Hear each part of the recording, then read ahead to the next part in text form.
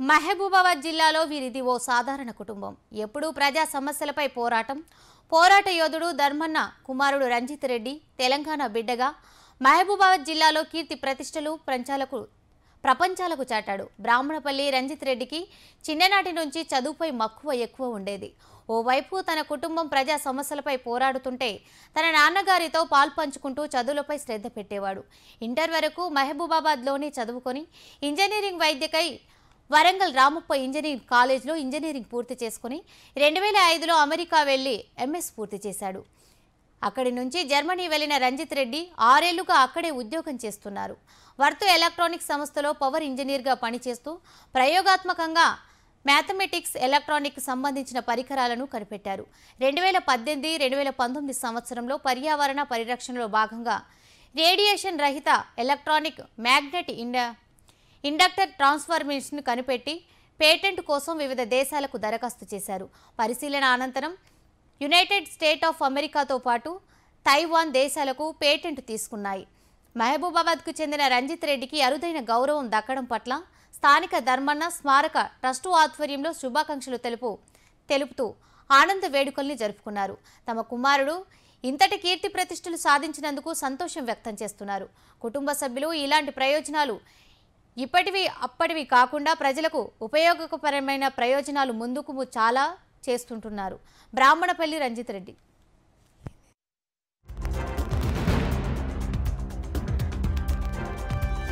పేరు రంజిత్ నేను ఇక్కడ మహిబాద్లో పుట్టి పెరిగి ఇక్కడే చదువు చదువుకొని టెన్త్ వరకు చదువుకున్నాను కేవలం ఇంటర్మీడియట్ మాత్రమే బయటికి వెళ్ళి ఇంజనీరింగ్ కాలేజ్ కూడా ఇక్కడే మహిబాద్ ఆఫ్ ఇంజనీరింగ్ కాలేజ్లో చదువుకున్నాను టూ థౌజండ్ ఫైవ్ వరకు. టూ థౌజండ్ సిక్స్లో Ramappa engineering college Warangal move అవ్వడం వల్ల అక్కడ నుంచి గ్రాడ్యుయేట్ అవ్వడం జరిగింది టూ థౌజండ్ సిక్స్ తర్వాత నేను ఇంజనీరింగ్లో కూడా ట్రిపుల్నే e నాకు వేరే బ్రాంచెస్ ఎంచుకోవడానికి సౌ సదుపాయాలు సౌకర్యాలు ఉన్నా కూడా నేను ట్రిపుల్నే e ఎందుకంటే నాకు ఈ ఎలక్ట్రానిక్స్లో ఈ ఎలక్ట్రికల్ ఇంజనీరింగ్లో మా ప్రజలకు కంపల్సరీ ఏదో పవర్ రూపంలో అవసరం అవుతుంది.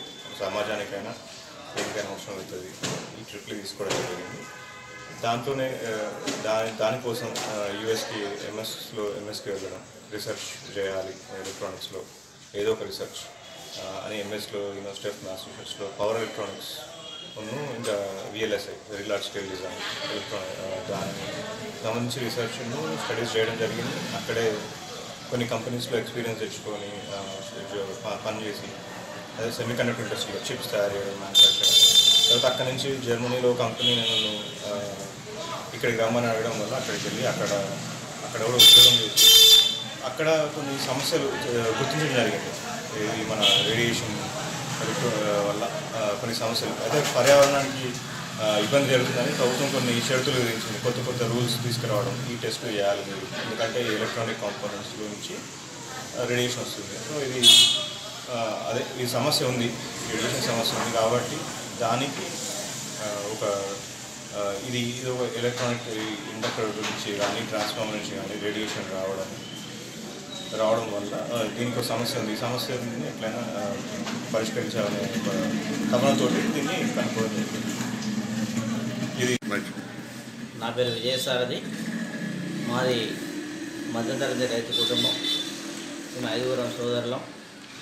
ఐదుగురు సోదరులు పెద్దవారైన ధర్మన్న కుమారుడు రంజిత్ ఇవాళ ఒక అచీవ్మెంట్ ప్రపంచంలో ఉండేటువంటి అన్ని రకాల ఎలక్ట్రానిక్ పరికరాలకు ఉపయోగపడేటువంటి మ్యాగ్నెటిక్ ఎలక్ట్రికల్ ఇండ- ఇండక్టర్ ట్రాన్స్ఫార్మర్ కనుగొనడం చాలా సంతోషదాయకం. ఇది తెలంగాణ ప్రాంతంలో మహబాద్ గడ్డలో ఈ యొక్క కనుక్కోవడానికి మరి కనుక్కున్నటువంటి మా కుమారుడు మా అన్న కుమారుడు అంటే మా కుమారుడే.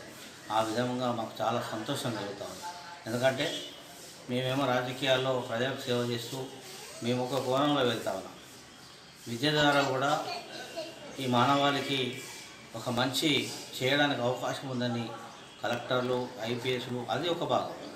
కానీ ఒక సైంటిస్ట్ అనేటువంటి ఒక ఇంజనీర్ అనేవాడు ఈ దేశంలో ఈ ప్రపంచంలో ఎక్కడికైనా ఉపయోగపడేటువంటి ఒక పరికరాన్ని తయారు చేయడం